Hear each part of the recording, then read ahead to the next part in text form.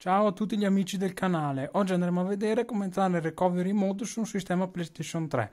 Come, come, vi farò vedere è molto semplice entrarci e vedremo nel dettaglio le funzioni che integra. Adesso la console accesa, dovremo spegnerla. Quindi recarci sulla, sulla nostra PlayStation 3. Dovremo tenere premuto fino a che non si spegnerà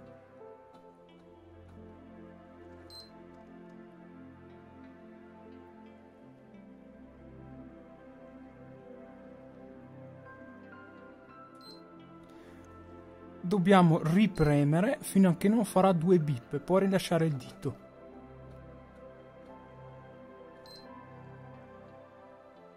Ecco qui, ci spostiamo nuovamente sulla nostra TV. Come vediamo ci, ci chiede di collegare il controller via USB, mi raccomando controller originali perché quelli non originali potrebbero non funzionare. Premiamo il tasto PS e ci troveremo davanti diverse opzioni.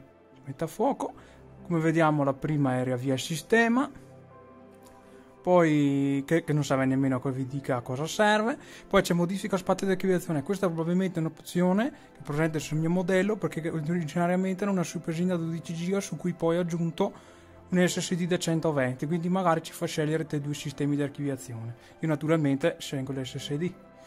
Poi abbiamo ripristino in posizioni predefinite, questo ci riporta alla console con impostazioni come uscite di fabbrica. Attenzione però, non ci cancella i giochi, i dati salvati, ma ci ripristina solamente le impostazioni. Poi c'è ripristina file system, una funzione utile nel caso in cui avessimo problemi col sistema, freeze più frequenti del solito, lag insoliti nei giochi. Questa funzione può permetterci di far tornare il nostro sistema diciamo più stabile. Ovviamente se il gioco è fatto male ha problemi di natura non, non risolverà niente. Ricostruirci database è un po' più o meno uguale a ricostruirci il file system solo che questa opzione ci mh, potrebbe succedere che ci sloghi dal PSN quindi dovremo rimettere solamente dentro il nostro account praticamente non cambia niente da ripristina file system. Poi c'è ripristina sistema PS3 questo è vera e propria eh, formattazione della console, quindi perderemo tutti i dati e sì, perderemo tutti i dati, i giochi, tutto quanto.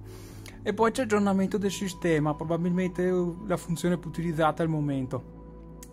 Visto che ci permette di aggiornare il software firmware della console tramite chiavetta.